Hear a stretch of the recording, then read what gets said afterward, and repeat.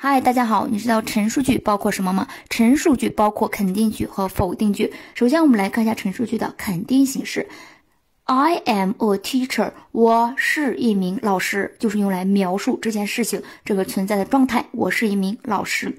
陈述句的否定形式，然后基本的形式有三种。第一种有 be 动词，我们在 be 动词后面加 not。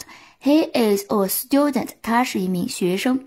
那么这时候变成不是，我们就要在 be 动词这里有 is 后面加上 not。He is not a student。有情态动词，在情态动词后面加 not。She can swim。OK，she can，这里有 can 情态动词，我们直接加 not。She cannot swim。那么没有情态动词和 be 动词的时候，有实义动词的时候，我们要借助于助动词 do does did。She likes sing，这时候这就是一个实义动词，她喜欢唱歌，她不喜欢唱歌，不喜欢唱歌，我们到底用 do does did 看人称第三人称，用 does，用上 does 之后，我们要加上 not，OK，缩写 doesn't。